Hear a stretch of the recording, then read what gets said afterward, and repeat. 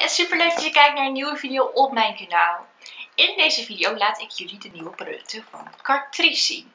Cartrice heeft uh, twee keer in het jaar een sortimentsupdate. De eerste update is altijd al in februari dat zijn de producten voor het voorjaar. De tweede update is in augustus en dan komen de producten voor het najaar. Um, als je mijn kanaal langer volgt weet je eigenlijk dat ik standaard elk jaar uh, deze video's opneem. Um, alleen het is nu wel zo dat ik voorheen altijd best wel een uitgebreide uh, producten had om te laten zien. Omdat ik een hele grote kruidvat had met een heel breed assortiment. Ik ben dus verhuisd en ik heb niet meer zo'n breed assortiment in de kruidvat die ik nu tot mijn beschikking heb. Dus het zijn wel wat minder producten dan voorheen. Omdat ik eigenlijk alleen maar het standaard uh, assortiment heb en niet meer dat uitgebreide gedeelte ernaast. Dus dat is wel een beetje jammer, maar desalniettemin wilde ik toch wel um, deze video voor jullie opnemen. Um, ik ga de producten niet swatchen. Um, ik wil hier nog foto's van maken, dus ik ga ze alleen maar aan jullie laten zien. En ik vertel eventjes uh, wat het is. Ik kan er dus nog niks over vertellen wat ik ervan vind. Uh, mocht je nou zoiets hebben, ik zou het toch wel leuk vinden om te zien dat je ook wat producten gaat testen. Kan je dat altijd even laten weten in comments. Want dan kan ik hier altijd nog een aparte video van maken dat ik de producten ook echt test. Maar voor nu laat ik ze vooral eigenlijk alleen maar zien. Dus ben je benieuwd naar de producten die ik je ga laten zien? Kijk dan even gezellig mee met deze video. Het allereerste product wat ik heb, dat is een Prime Fine Poreless Blur Primer. En uh, dit is een long lasting primer met een soft focus effect. En er staat op Goodbye Pores. Het is weer gewoon zo'n um, verpakking als altijd. Uh, hier zit, um, hoeveel zit hier eigenlijk in? 30 milliliter. Ik ben eigenlijk altijd wel heel erg blij met de primers van uh, Cartrice. Want ze blijven eigenlijk altijd goed zitten. Ze hebben ook eigenlijk 9 van de 10 keer gewoon een goed effect. Ik was wel heel erg benieuwd naar deze. Wat staat er verder nog op? Het zou een hele zachte primer zijn. Um, die, uh, die je poriën en fijne lijntjes onzichtbaar maakt. Um, je moet het alleen onder je make-up gebruiken voor een long-lasting flawless finish. Um, nou, en de ingrediëntenlijst. Maar mocht je daar benieuwd naar zijn, kun je altijd even op de site kijken. Hij zit goed dichtgesealed, dus je weet dat hij nog niet gebruikt is. Altijd heel fijn om te weten. Dus ja, dit is een, uh, een uh, primer. En ik ben eigenlijk wel benieuwd wat voor effect deze zal gaan geven en of die echt goed werkt. Dan heb ik een mascara en dat is de Little Black One Volume Mascara. En dit is de wel de proefvariant. Hij heeft de naam 010 Like Jackie 0 of O. Oké. Ik vind de huls heel bijzonder. Het lijkt, dit, lijkt wel een soort leer. Het is natuurlijk geen leer, het is gewoon plastic. Maar het heeft een soort leather look. Zo moet het overkomen. Ja, dit is dan de waterproof variant. Um, volgens mij hebben ze ook wel een gewone variant. Ik ga borsteltjes eventjes bekijken, want er staat verder niks over op.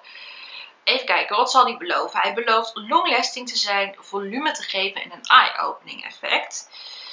Nou ja, goed, we gaan het meemaken. Ik kan het vaak al wel een beetje aflezen aan de borstel. Het is niet mijn type borstel, dat zie ik nu al. Het is zo'n borsteltje, het is een plastic borsteltje met hele fijne haartjes. Heel klein. Het ruikt verder niet raar of zo. Maar het is echt een borsteltje van plastic. En ik hou hier persoonlijk niet zo van. Van mij mag een borsteltje wel lekker fluffy zijn. Want dan weet ik echt dat ik een mooi effect ervan krijg. Maar goed, uh, dat gaan we testen. Ik, uh, ik kan er natuurlijk nog niks over zeggen. Maar in ieder geval deze mascara. Dan heb ik een eye foundation. En uh, dit is een waterproof eyeshadow primer. mat. En um, ja, het zag er wel grappig uit. Eye foundation. Um, vooral als je je oogschaduw lang op zijn plek wil laten zitten, is het fijn om een uh, primer te gebruiken voor oogschaduw of een oogschaduwbasis. Dit is dus echt een primer. Heeft de naam 010 As Strong As You Are. Um, een waterproof oogschaduwprimer met een matte finish en belooft intense en vibrant colors without creasing. Easy to apply due to intricate applicator. Nou, we gaan eens even kijken hoe dat in elkaar zit. Oh ja, heeft gewoon zo'n applicatortje, een beetje lipgloss applicatortje. Ziet er ook een beetje uit als een soort van lipgloss. Um... Oeh, het ruikt niet zo lekker. lipgloss uh, hulsje. Maar oké, ja, het ziet er wel uit alsof het een kleurtje heeft. Maar misschien dat hij uiteindelijk toch wel ook gewoon echt ehm, ja, gewoon heel licht is op het gezicht. Want anders zou ik denken, dan zou ik hem ook zou niet voor ieder gezichtskleur kunnen. En er staat niks over op dat die alleen voor een bepaalde ja, type gezicht is. Dus we gaan het meemaken. Dan heb ik een Insta2Go Blur Stick. Handbag Approved. Er zit een soort klein mini spiegeltje op. Nou, kun je iets zo zien. Nou, dat is wel heel minimaal, maar het is leuk bedacht. Uh, wat zit er verderop? Heeft het ook nog een naam? Nee. Er zit 4 gram in. Ja, het is gewoon zo'n stick die je ook een soort als primer kunt gebruiken. Hij is al wel gezwart, zie ik nu. Kijk, er zit ook een klein deugje in. Kan ook komen door dat hij tegen de top aan heeft gezeten. Deze is dan wel weer huidskleur. Dus ja, dan vraag ik me ook wel weer af van ja, hoe gefocust zijn ze bij Catrice? Want normaal zijn dit soort sticks toch vaak ja, wel redelijk uh, transparant. Maar misschien is die ook wel transparant. Maar ja, we gaan het zien. Heeft verder ook geen... Dat verder ook weinig informatie over op. Dus ja, ik vind dat spiegeltje wel schattig in ieder geval. Dus deze uh, hashtag Insta2Go blurstick. Dan heb ik een oogschaduwpaletje en dat is de Glitterizer Mix and Match Eyeshadow paletten dit oogschaduwpaletten heeft de naam 010 Glitter is my favorite color. Uh, het is een, een mix, mix and match oogschaduwpaletten voor een effectieve en individuele oogmake-up. Twee basecoats, vier glitter shades en twee topcoats. Oké. Nou, hij zat goed ingezield, dus dat is altijd wel fijn. Hoe gaat dit open? Oh, kijk. Oeh, dat is wel een beetje lastig. Op zich staat het goed aangegeven. Um, deze twee kleuren zijn de topcoat. Dan heb je hier de vier glitterkleuren. En dit zijn, nee, dit zijn de base coats, sorry. Die twee donkere kleuren zijn de base coats. Dan heb je de vier glitterkleuren. En dit zijn de topcoats. Het is op zich wel goed aangegeven. Um, het zijn dan niet glitters die ik alledaags zou gebruiken. Maar ja, voor een gewone uh, glitterlook is het op zich wel leuk als je een keer een feestje hebt of zo. Ehm, ja, ik ben wel benieuwd of dat je dit echt goed kan mixen en matchen. En of het echt, echt wat is met een basecoat en een topcoat. Vaak vervagen je kleuren dan heel erg. Maar misschien is dat bij deze wat totaal niet zo. Op zich wel een leuk, leuk paletje. Ook lekker, lekker compact. Dus niet heel erg ehm, veel ruimte innemend uh, paletten. Wat je niet op kunt bergen of zo. Dan heb ik een Arctic Glow Highlighting Powder. En dit is weer zo'n Baked Highlighting Powder. Heeft de naam 010 Jupiter's Glow. Het is een, ik zal hem even laten zien. Hij is. Zo hou zie je vooral het Baked effect. Ze hebben al meerdere van dit soort producten in hun assortiment. En ik ben echt dol op deze producten. Ik gebruik ze echt heel erg graag. Kijk hoe mooi dit eruit ziet met wat blauw erin. Ja, blauw-paarsachtig. Het ziet er in ieder geval echt super mooi uit. Dus ik ben ook echt wel benieuwd of dat het ook zo mooi op het gezicht gaat zijn. Of je wat terug ziet van de paarse kleuren. Of dat het wit toch gaat overheersen. Dat is een beetje de vraag. Um, een Baked Highlighting Powder with Fine Light Reflecting. Nou weet ik dat ze vorig jaar ook een bronzer hebben uitgebracht met uh, van die reflecting um, stukjes. Nou, van die reflecting stukjes zie je in de bronzer dus niks. Ik ben wel benieuwd of dat, dat in deze um, highlighting powder wel zal zijn. Maar ik vind het hem wel echt heel erg mooi eruit zien in ieder geval.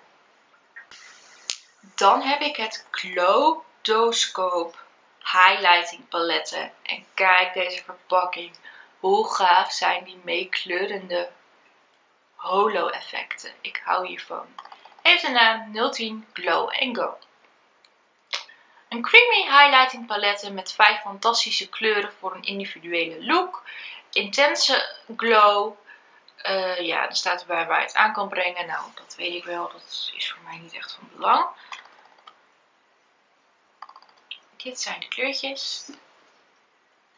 Beetje roze, een beetje bruin en vooral wat wit. Maar misschien dat dat wit nog weer omzet in een andere kleur. Want als ik deze drie kleuren zo zie, dan denk ik, goh, ze lijken wel op elkaar. Misschien dat dat nog wel anders wordt. Ziet er op zich wel veelbelovend uit. Ik denk wel dat het belangrijk is om dit onder je foundation te gebruiken in plaats van eroverheen. Want vaak zijn ze zo glimmend dat dat ook echt gewoon goed werkt. Maar ik vind die verpakking gewoon al geweldig met dat, ja, die, die, die, die holo effecten. Dat is gewoon super tof vind ik zelf. Dan heb ik een nagellakje en dit is het hashtag Peel Off Glam Effect Nail Polish. Ik heb hem in de kleur 02 Nail More Worry Less. Het ziet er dus zo uit en ja, hij lijkt echt wat roze. Op de camera komt hij meer over als zilver vind ik persoonlijk. Maar dit is dus een nagellak die je er gewoon af kan trekken zou kunnen. Uh, ik vind het altijd zelf wel heel erg fijn, want dat scheelt altijd wel weer een beetje in um, ja, het verwijderen met um, nagellak remover. En dat vind ik bij deze glitters dan wel heel fijn, want ik vind glitters echt een ramp om te verwijderen met nagellak remover. Maar als je dit gewoon eraf kan trekken is dat natuurlijk super tof. Volgens mij had je best wel veel verschillende kleurtjes. Wat staat er verder nog op? Uh, de nagellak aanbrengen in twee lagen. Easy to peel off. Dat is het. Oké, dus er staat niet bij hoe je dit eraf kan pulken. Ja, waarschijnlijk gewoon losmaken.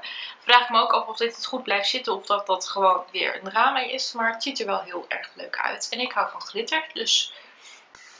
Dan heb ik een oogschaduwstick of een eyeshadow sticks. Zoals het hier staat. Het is een uh, 12 hour lasting sweet proof sweet stick.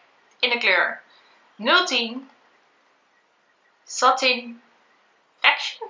Satin Faction, denk ik dan. Er staat verder niet zo heel veel over op. Ja, het is een um, oogschaduwpen die waterproof is. Um, met een tri tri tri triangulair tip voor precisie en fast application. Keeps up with an active lifestyle, no matter what the day brings. Nou, dat ziet er heel erg leuk uit. De stick ziet er op zich leuk uit, maar dan gaan we even naar die applicator kijken. Oké, oké, oké. Dat is op zich wel leuk gedaan. Je draait hem dus zo omhoog en zo kun je hem dan aanbrengen. Dit is de kleur. Ik vind hem meer een highlighter dan. Ik zou hem in de binnenste ooghoek gebruiken als voor een hele look. Maar hey, we gaan het proberen. Ik ben benieuwd of dat dit wat gaat zijn. Zou natuurlijk hartstikke leuk zijn. Maar dat gaan we testen. Ik ben normaal niet zo van de sticks, maar dit wilde ik toch wel proberen op een of andere manier. Dus ja, deze eyeshadow stick. Dan heb ik een brow colorist. En dit is een Seminent Permanent Brow Mascara Dark Brows in 2 Weeks. Uh, 020 Medium heb ik gekozen. Ziet er zo uit. Zit in een uh, doosje. Ik ga hem er even uithalen. Kleur valt op zich wel mee hoor. Dit is dan de applicatie, of het, het, het verpakkingje. Mooi gouden details.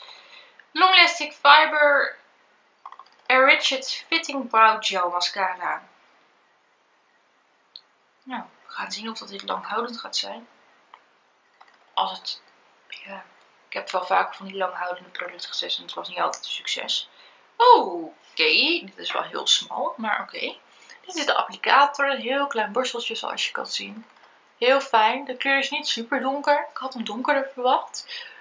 Maar misschien ook maar goed, want ik ben natuurlijk ook niet... Uh, ik heb natuurlijk ook geen donker haar, maar mijn wenkbrauwen zijn wel vrij donker. En die zijn overigens zo donker van mezelf, ik verf ze niet. Dus nou, ik, ik ben benieuwd of dat dit ook echt semi-permanent gaat zijn. Vaak werkt het niet zo goed als ze dat beloven, maar misschien bij deze wel. Dus uh, ja, deze semi-permanent brow mascara. Dan heb ik twee blushjes. En um, dit zijn de uh, Blushbox Water Sweet Proof.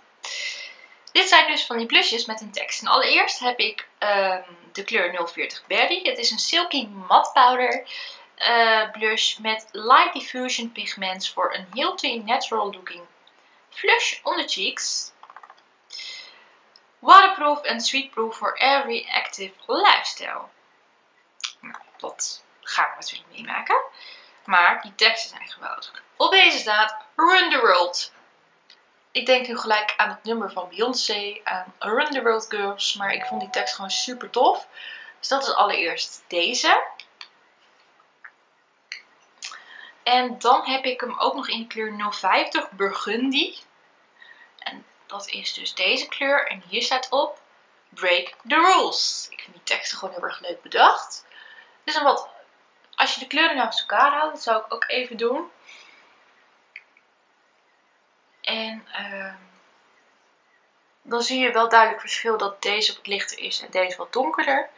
Maar ja, ik ben wel benieuwd of dat ze ook echt gewoon zo goed gaan zijn. Als ze gewoon goed pigment hebben. Ik zie hier trouwens een lichte shimmer in. In de, deze versie van Break the Rules zit is die uh, uh, Burgundy 050. Hier zit een shimertje in. Hier zie ik dat bij deze, bij die berry zie ik dat niet. Al snap ik de naam berry niet zo. Want ik vind deze meer berry-achtig als deze. Maar ik ben wel heel erg benieuwd. En ik vind die tekst gewoon geweldig in deze blushers. En dan ben ik toe aan het allerlaatste product. En dat is de Blazing Bronze Collection Eyeshadow. Dit is dus weer een eyeshadow palette. Hij heeft de naam 010 Call It What You Want. Ik heb al vaker van deze oogschaduwpaletten laten zien. Omdat ze deze sinds een aantal jaar in het assortiment hebben. En als ik heel eerlijk ben, snap ik de naam brons niet helemaal. Dat zijn meer huistinten. Het zijn de kleuren. Je ziet wel paars. Je ziet hier en daar wel een bronskleurtje. Bijvoorbeeld deze. Deze kan ook nog wel. En ja, de rest vind ik vrij paars. Dus de Blazing Bronze. Oké. Maar ik vind het dus meer een palet met paarstinten. Dit vind ik wel heel erg leuk. Want dit hadden ze eigenlijk nog niet. Want de meeste paletten die lijken toch altijd wel heel erg op elkaar die ze uitbrengen. Maar dit is wel totaal iets anders. En dat hebben ze nog niet eerder gehad. Dus ik vind die kleurencombinaties er heel erg mooi uitzien. Op de achterkant heb je ook weer zo'n um, kleine tutorial. Of als je niet weet hoe je dit zou kunnen opbrengen of aanbrengen. Dat is altijd wel handig. Maar ja, ik vind het op zich wel, wel leuk bedacht. En ik ga kijken of dat dit palet een succes gaat zijn. Dan waren dit al de producten van Catrice die ik jullie wilde laten zien. Dus die dus nieuw in het assortiment zijn gekomen. Er is dus uiteraard nog veel meer um, nieuw in het assortiment gekomen. Maar zoals ik al zei, ik had niet zo heel veel keuze. En ik heb gewoon wat basic dingen gehaald. Um, waar ik zelf het allerbenieuwdste naar ben, dat zijn toch deze um, blushes. Sowieso, ja natuurlijk naar alles, anders had ik het niet gekocht. Maar deze springen er gewoon echt uit. De highlighter ben ik heel erg benieuwd naar. Uh, toch deze ook wel, die nagellak en ook dit paletten. Dus dat zijn eigenlijk voor mij echt de producten waar ik gewoon het allerbenieuwdst naar ben. Naar de andere ook wel, maar die springen er voor mij dus uit. Jij al producten getest uit deze nieuwe collectie en wil je dat met me delen? Vind ik dat hartstikke leuk. Wil je dat eventjes doen in de comments natuurlijk. Uh, voor nu wil ik je in ieder geval weer heel erg bedanken voor het kijken. Ben je nieuw op mijn kanaal? kun je even gratis abonneren. Als je ook even het belletje drukt, dan krijg je een melding zodra er een nieuwe video van mij online komt. En hoef je niks meer te missen. En uh, zou je hier dus toch van een aantal producten een, een video review willen zien, laat het ook even weten in de comments, want dan ga ik daar gewoon mee aan de gang. En um, nou ja, nogmaals bedankt voor het kijken en hoop je bij de volgende video weer te zien. Doeg!